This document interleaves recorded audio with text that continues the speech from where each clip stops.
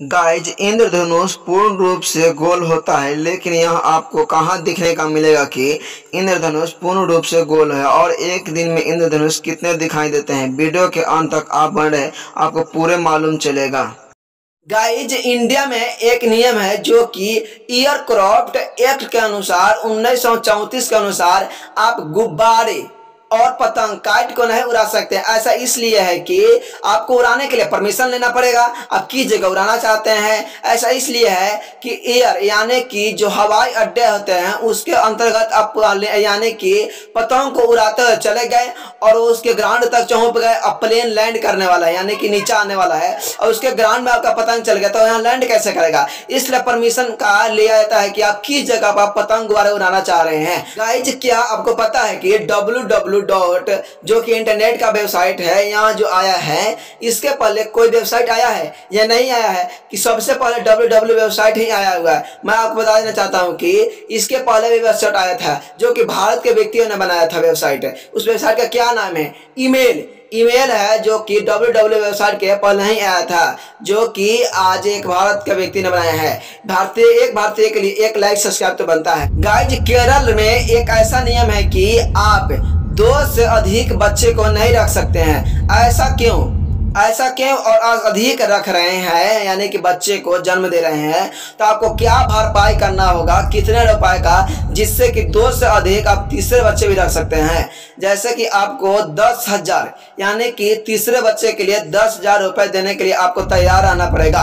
Guys कौन सा देश है जहाँ के, यानी कि जितने परसेंट जनसंख्या बढ़ रहे हैं, उतने परसेंट यूज़र बढ़ रहे हैं? भारत या किसी देश में ऐसा नहीं होता है, मात्र एक ऐसा देश है। उस देश का क्या नाम है? वह कितने? यानी कि जनसंख्या जितना बढ़े, उसके पचहत्तर परसेंट उसके पास यूज़र है इंटरनेट यूज़र है। या इंटरनेट यूज़र यानी कि कितना? पचहत्तर परसेंट। स्वीडन देश में पचहत्तर परसेंट यूज़र है, जो कि जनसंख्या के हिसाब से। क्या गूगल ही एकमात्र सर्च इंजन इंजन है? नहीं छोटे छोटे हैं, जो आपको पता नहीं है। गूगल भी सर्च इंजन जो बहुत बड़े सर्च इंजन है, जो कि एक ब्राज़ील में इकोसिया इकोसिया एक सर्च इंजन है जो कि ब्राज़ील में स्थित है। उसका यह कहना है कि मैं अधिक पेड़ों पौधों को बढ़ावा दे रहा हूँ लगाने के लिए। उनका जितना इनकम होता है, उन इनकम को, यानी कि 80 परसेंट इनकम को वहाँ पेड़ पौधे लगाने में देते हैं। ये कोशिया सर्च इंजन। सांप, प्रतिदिन खाना खाती है? आप सब्सक्राइब कर ले वीडियो पाने के लिए। जी हाँ सांप अगर सप्ताह में एक दिन भी अगर खा लेती है उसे सात दिन या महीना दिन तक वो बिना खाए रह सकते हैं। आशा करते हैं वीडियो अच्छा लगा। एक सब्सक्राइब कर दीजिए। देखते होंगे, कोई भी व्यक्ति अधिक देर तक बेड पर सोए रहता है, उस पास कोई ना कोई बीमारी होता है। कौन सी बीमारी होता है? किलोनोमिया किलोनोमिया एक ऐसा बीमारी है जो आदमी को आलिसपन बहुत लगता है और वहाँ बेड पर से जल्दी उठ नहीं पाता है। वह कर, महसूस करता है कि हमेशा कब बना। यानी कि इंडिया गेट कब बना सब्सक्राइब कर दे वीडियो पाने के लिए। जी हाँ इंडिया गेट उन्नीस सौ इकतीस में बना। उसका नाम पहले रखा गया था ऑल इंडिया वॉर मेमोरियल इसका नाम पहले था। लेकिन उसे बदल कर बाद में इंडिया गेट रख दिया गया। जी। भारत में क्या कहा जाता है? भारतीय औरत को भारत में देवी के रूप को कहा जाता है जो कि महिलाएँ धन की वृद्धि कराती है यानी कि लक्ष्मी का स्वरूप दिया जाता है अधिक दिनों तक चलते हैं। सोलह से लेकर अट्ठाईस वर्षों के बीच में जो दोस्ती होते हैं वो अधिक दिन चलने की संभावना होती है। मैं चरण संस्कार कर लीजिए वह नहीं। बहुत अधिक दिन चलता है।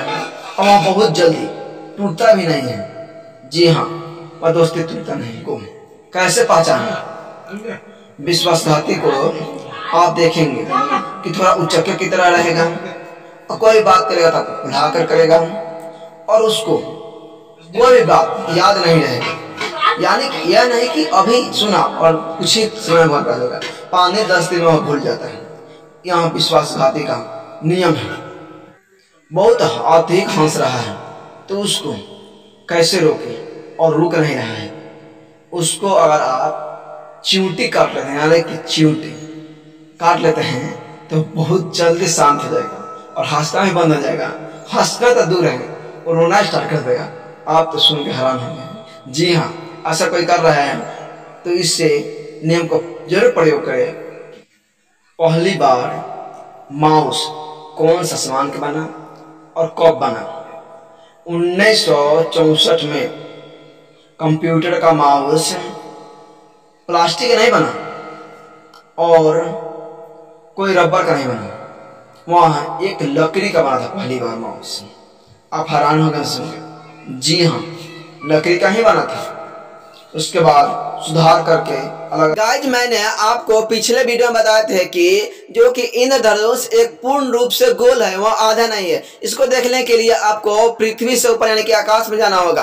आपको यह बता दें कि एक दिन में एक ही इंद्रधनुष नहीं दिखते हैं। यहाँ दो, तीन, सबसे अधिक चार बार रिकॉर्ड किया गया है कि इंद्रधनुष दिखते हैं। मेरे वीडियो अगर अच्छा लगा आपको तो मेरे चैनल को सब्सक्राइब कर लो।